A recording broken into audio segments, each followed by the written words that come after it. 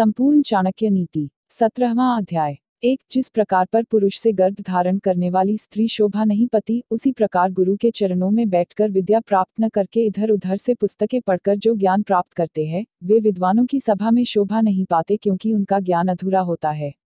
उसमें परिपक्वता नहीं होती, अधूरे ज्ञान के कारण वे शीघ्र ही उपहास के पात्र बन जाते हैं।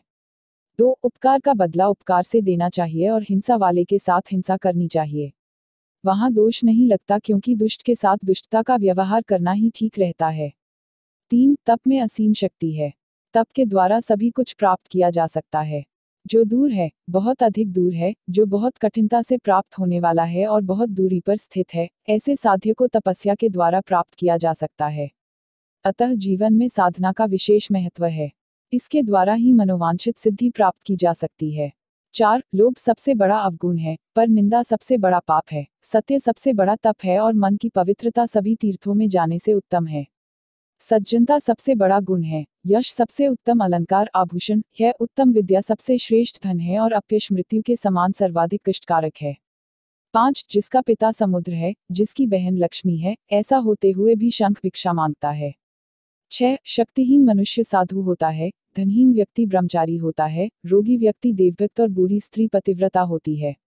सात, अन्नदान व जलदान से बड़ा कोई अन्य दान नहीं, द्वादशी तिथि के समान कोई अन्य तिथि नहीं, गायत्री मंत्र के समान कोई अन्य मंत्र नहीं और माता के समान कोई दूसरा देवता नहीं।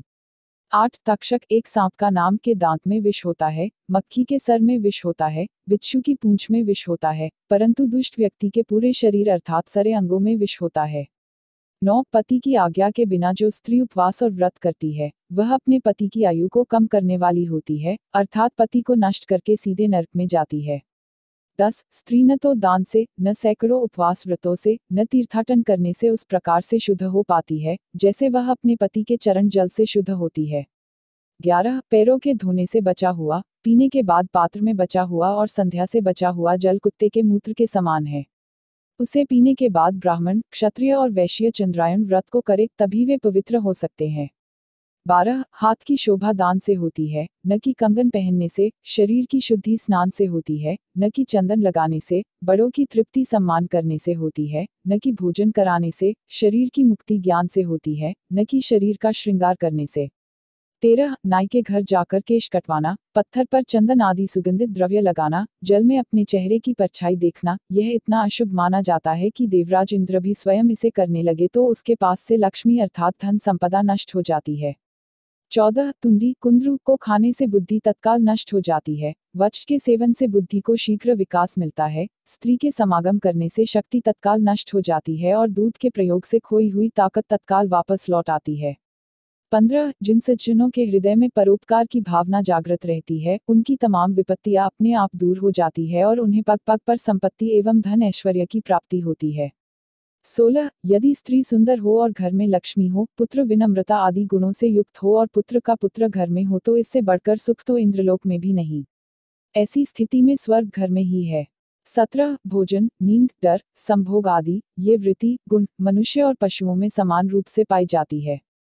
पशुओं की अपेक्षा मनुष्यों में केवल ज्ञान, बुद्धि एक विशेष गुण उसे अलग से प्राप्त है। अतः ज्ञान के बिना मनुष्य पशु के समान ही होता है। अठारह, अपने मद से अंधा हुआ गजराज, हाथी, यदि अपनी मंदबुद्धि के कारण, अपने गंडस्थल, मस्तक पर बहते मद को पीने के इच्छुक भौरों को अपने कानों को फड़फड़ाकर भगा देता है तो इसमें भौरों की क्या हानि हुई है? अर्थात कोई हानि नहीं हुई। वहाँ से हटकर वे खिले हुए कमलों का सहारा ले लेते हैं और उन्हें वहाँ पराग रस भी प्राप्त हो जाता है, परंतु भौरों के न रहने से हाथी के गंडस्थल की शोभा नष्ट हो जाती है। उन्नीस, राजा, वेश्या, यमराज, अग्नि, चोर, बालक, भिक्षु और आठों गाँव का कांटा, ये दूसरे के दुख को नहीं जानते।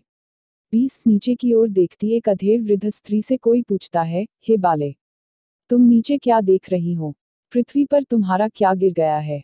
तब वह स्त्री कहती है, रे मूर्ख तुम नहीं जानते, मेरा युवावस्था रूपी मोती नीचे गिरकर नष्ट हो गया है।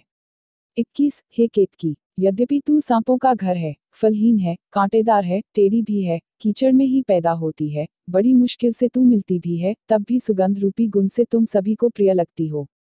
वाकई एक गुण सभी दोषों को नष्ट कर देता है, चाणक्य नीति। कैसी लगी आपको हमारी ये वीडियो ज़रूर बताएँ और आगे भी ऐसी वीडियो सबसे पहले प्राप्त करने के लिए अभी सब्सक्राइब करें।